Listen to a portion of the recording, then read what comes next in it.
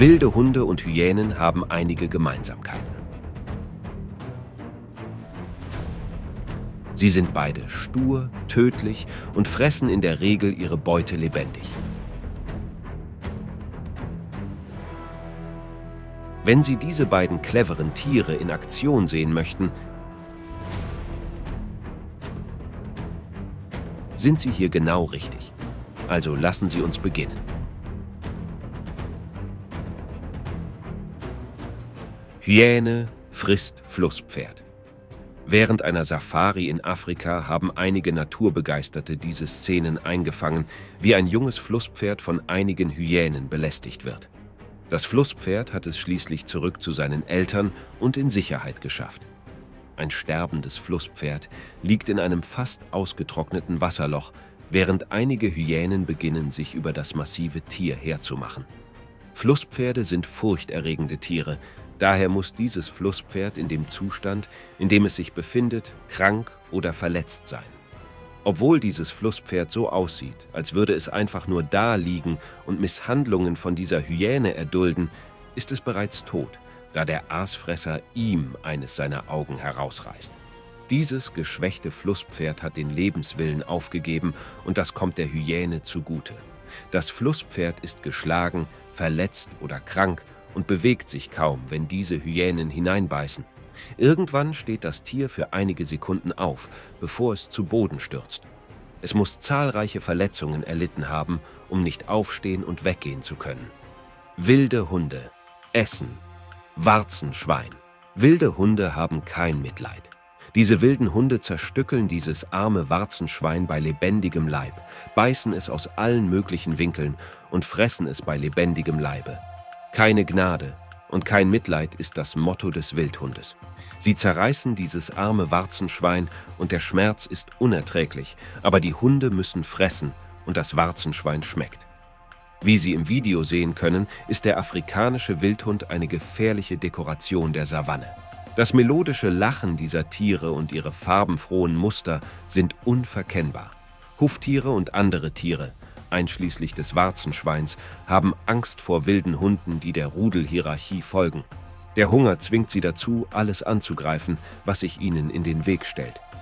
Dies war eine bemerkenswerte Beobachtung, bei der man das Teamwork und die Strategie eines Rudels afrikanischer Wildhunde beobachtete, während Zuschauer stundenlang am Abend zuvor und einen Großteil des Morgens auf der Jagd mit dem Rudel verbracht hatten, ohne Erfolg zu haben.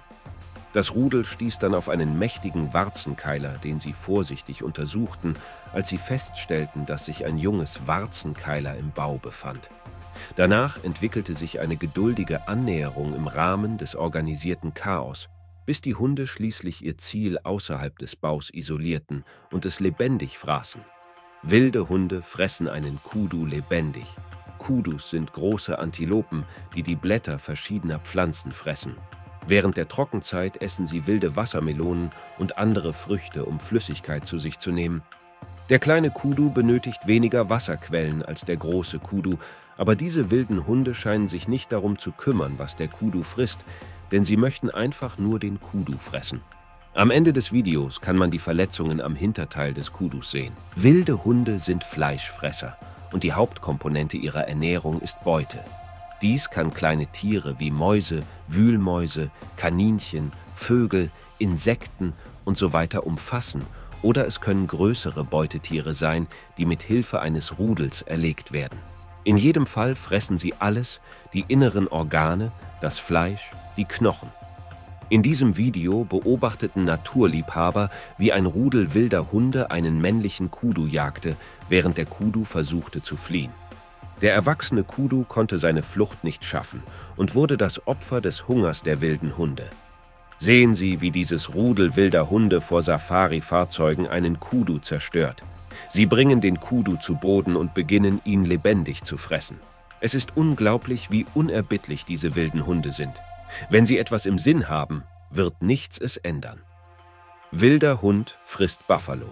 Obwohl eine Wasserbüffelmutter versucht, ihr Kalb vor einem hungrigen Rothund zu retten, gelingt es dem Rothund, das Kalb ans Ufer zu ziehen, um es zu töten, unter den Augen der hilflosen Büffelmutter. Die Mutter gibt ihr Bestes, um ihr Kalb zu verteidigen und diese Gruppe wilder Hunde daran zu hindern, es zu töten. Das Kalb ist bereits verletzt und liegt am Boden, daher wage ich zu behaupten, dass es nur eine Frage der Zeit ist, bis die Hunde ihre Beute bekommen und die Mutter aufgibt. Büffel sind starke Tiere, die bekannt dafür sind, sich Löwen zu stellen. Sie sind enorm groß und ein guter Stoß mit einem ihrer Hörner könnte tödlich sein. Wilde Hunde haben wenig Chancen, einen ausgewachsenen Büffel zu besiegen, es sei denn, sie sind auf ein jüngeres Kalb aus. Genau das tun sie in diesem Video. Sie haben das Kalb umzingelt und machen es direkt vor seiner Mutter fertig. Es scheint, als hätte die Mutter aufgehört, ihr Junges zu verteidigen, weil es einfach zu viele Hunde gibt. Nach einem letzten Versuch wird die Mutter schließlich aus dem Bereich vertrieben und die Hunde können in Ruhe fressen. Wenn die Mutter zu diesem Zeitpunkt weiß, was gut für sie ist, sollte sie am besten weglaufen. Das Kalb kann in diesem Stadium nicht mehr gerettet werden. Hyänenangriff auf Seehund. Braune Hyänen, auch als Strandwölfe bezeichnet, sind die seltenste Art in der Hyänenfamilie. Sie sind hauptsächlich Aasfresser was bedeutet, dass sie normalerweise von Kadavern leben, die von fähigeren Jägern zurückgelassen wurden. Die Strandwölfe an Namibias Skelettküste, wo es keine anderen Raubtiere gibt, sind von Kapppelzrobben als Nahrungsquelle abhängig geworden. Sie nehmen vor allem die Jungtiere ins Visier, zum Teil, weil sie verwundbar und nicht in der Lage sind, sich zu verteidigen, aber auch, weil sie deren Schädel mit einem Biss zerquetschen können, was es ihnen ermöglicht, schnell zu ihrem Bau zurückzukehren, ohne dass es jemand bemerkt. In diesem Video nähern sich zwei braune Hyänen einem kleinen Robbenjungen. Braune Hyänen haben einige der größten Zähne unter allen Fleischfressern. Hitzschlag ist eine häufige Todesursache für Kapppelzrobben und diese Hyäne würde sich freuen, einen frischen Kadaver zu finden. Sie versucht eines der Robbenbabys vor einigen hungrigen Schakalen zu schnappen und leider haben die viel kleineren Schakale, selbst wenn sie in der Überzahl sind, keine Chance gegen die Aasfresser. Daholes greifen Samba-Hirsch an. Diese beiden Rothunde greifen einen Samba-Hirsch in einem Wasserloch an und es sieht nicht so aus, als würde das Tier sehr hart um sein Leben kämpfen. Vielleicht ist es verletzt oder hat einfach keine Energie mehr. Hyänen greifen Genu an eine einzelne Fleckenhyäne tötet und frisst einen ausgewachsenen Gnubullen. Die Hyäne verwendet die übliche Methode, um ihre Beute zu erlegen, indem sie die Beute immobilisiert, indem sie in die weichen Bereiche der Leistengegend eindringt und dann zu fressen beginnt, während das Tier hilflos zusieht. Viele Menschen verachten Hyänen, weil sie glauben, dass sie lediglich Aasfresser sind, die anderen Tieren das Futter stehlen. Viele Menschen wissen, dass sie ihre eigene Beute jagen, aber sie mögen sie trotzdem nicht wegen ihrer Jagdtechnik. Sie verfügen nicht über die Werkzeuge, die große Katzen haben, daher der Grund dafür, und sie schaffen es, sich effizient zu ernähren. Diese Fleckenhyänen gehören zu einem der Forschungsclans, die das MSU-Hyänenprojekt im Masai Mara Reservat seit 1989 das ganze Jahr über überwacht. Man kann sehen, wie sie sich an einem Gnu gütlich tun, während das Tier noch am Leben ist, aber so sind nun einmal die Hyänen. Überraschenderweise schafft es das Gnu zu einem gewissen Zeitpunkt aufzustehen und zu fliehen, aber die Hyänen essen einfach weiter selbst wenn es steht. Dieses Gnu stellt sich den Hyänen und lässt sie wissen, dass es nicht so leicht aufgeben wird. Zehn Sekunden später trifft es St. Peter an den Pforten des Paradieses und bittet um Einlass. Diese beiden Gnus haben ihre Hörner miteinander verkeilt, also nutzen die Hyänen die Situation aus und fressen das Gnu, das auf dem Boden liegt. Da kann man wirklich von einer seltsamen Situation sprechen. Es ist schon schwer genug, Hyänen zu entkommen, und jetzt müssen diese beiden auch noch aneinander hängen. Wilde Hunde greifen Oryx an, hier ist ein Oryx, der den Löffel abgibt. Das Oryx bleibt am Boden und denkt, es ist besser dran, aber ich denke, es macht die Dinge nur schlimmer. Aber in den gegebenen Umständen gibt es eigentlich kein besser. Es ist einfach schlecht oder schlechter. Für wilde Hunde gibt es keine zu große Beute. Bring es einfach heran und sie verschlingen es, genauso wie sie es mit diesem riesigen Oryx tun. Der Oryx ist eine große Antilope und mit einem paar langer, spitzer Hörner ausgestattet. Aber wenn eine Horde Verrückter von allen Seiten an dir zieht, musst du besser ausgestattet sein als das oder du musst eine rasante Geschwindigkeit haben. Wilde Hunde versuchen, eine Hyäne zu fressen. Hyänen sind der Feind von jedem und wilde Hunde sind da keine Ausnahme. In diesem Video kämpft diese einzelne Hyäne gegen eine Gruppe wilder Hunde. Es sieht jedoch nicht gut aus, obwohl sie zäher ist als eine Antilope. Wenn die Hunde so weitermachen, wird das Ergebnis dasselbe sein. Die Hyäne sprintet weg, aber die Hunde folgen ihr und setzen ihren Angriff fort. Hyänen stehlen Beute von einem Leoparden und werden dann brutal von einem Rudel wilder Hunde angegriffen. Eine der Hyänen wird isoliert und sucht Schutz unter einem Geländewagen, während der Spurenleser auf dem Spurenlesersitz seine Beine anhebt, damit sie nicht im Weg sind.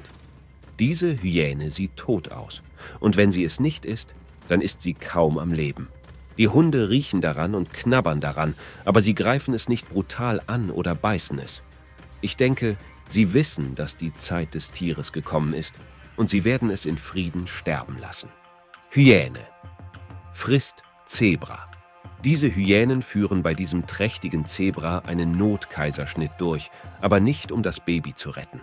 Tatsächlich geht es darum, es zu essen, bevor sie mit dem Essen der Mutter beginnen. Einige der Eingeweide des Zebras treten aus ihrem Körper aus, während sich die Aasfresser darauf stürzen, um den ungeborenen Fötus zu finden. Dieses arme Fohlen wird von einer einzelnen Hyäne auf der Seite einer unbefestigten Straße erwischt und obwohl es mit aller Kraft kämpft, kann es sich kaum verteidigen. Die Sache ist in Sekunden von der Hyäne besiegelt, obwohl ein erwachsenes Zebra offenbar helfen möchte. Wilde Hunde greifen den Wasserbock an diese Sequenz zeigt den erfolgreichen Jagdangriff eines Rudels von etwa 25 wilden Hunden, die eine weibliche Wasserbock am Jones-Damm im Kruger Nationalpark erlegen. Eine Wasserbock wird in diesem Video von mindestens zehn Wildhunden in Stücke gerissen. Die Hunde beißen und zerreißen jeden Fleischbrocken, den sie erwischen können, um ihren unersättlichen Appetit zu stillen. Die Aktion ist noch beeindruckender, weil wir eine Vogelperspektive haben und den großen Schlitz im Kadaver sehen können, den die Hunde gegraben haben. Wilde Hunde essen Hasen. Dieser arme Hase ist keine große Mahlzeit für dieses Rudel wilder Hunde, aber sie werden ihn trotzdem essen. Essen ist im Busch Essen, und das könnte eine Vorspeise sein, oder sie haben vielleicht schon gegessen, und das ist das Dessert. Jedenfalls ist der Hase gekocht, gebraten oder geröstet. Da Hasen so klein sind, sind sie nicht die besten Beute für wilde Hunde, und ein Rudel Hunde zu füttern erfordert mehr als einen kleinen Hasen. Im Moment nehmen die Hunde jedoch, was sie bekommen können. Ein glücklicher Hund schnappt sich den Hasen und weigert sich, ihn mit den anderen zu teilen. Hyäne frisst Topi. Eine Hyäne aus Masai Mara konnte ein neugeborenes Topi-Kalb auf der Savanne ausmachen und selbst mit den Eltern und ihrem Kalb dort zögerte die Hyäne nicht und ging zum Angriff über.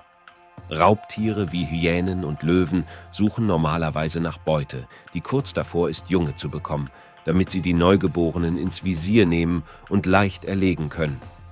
Dieses Topi bricht sich ein Bein, während es versucht, vor dieser Hyäne zu fliehen. Es ist bereits schwer genug, vor einer Hyäne auf vier Beinen zu entkommen, also stellen Sie sich vor, wie schwer es auf drei Beinen sein muss. Und deshalb wird das Tier zum Mittagessen für diese Hyäne. Wir haben die falsche Vorstellung, dass Hyänen nur Aasfresser sind. Das ist nicht korrekt. Hyänen sind ausgezeichnete Jäger. Dieser Wildtierenthusiast hat dieses Hyänenpaar über mehr als zwei Stunden verfolgt, bevor sie erfolgreich einen Topi erlegt haben. Hyänen-Angriffslöwe. Dieser erbitterte Kampf zwischen Löwen und Hyänen wurde von einem erfahrenen Ranger auf Kamera festgehalten, während er eine Safari im Kruger Nationalpark in Südafrika leitete.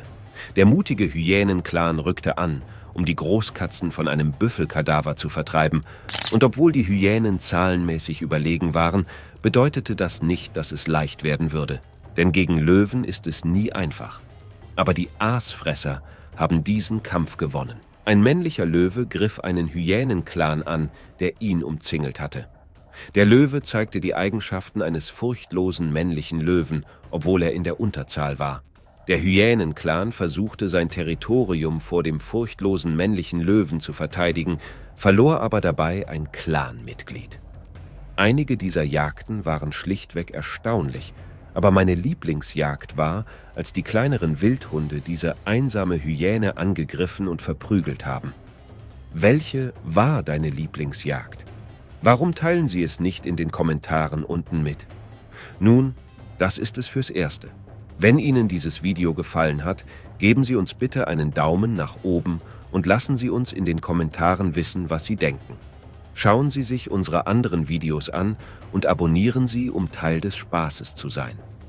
Klicken Sie auf das Benachrichtigungssymbol, damit Sie unsere neuen Videos sofort sehen können, sobald sie hochgeladen sind. Vielen Dank fürs Zuschauen und bis zum nächsten Mal.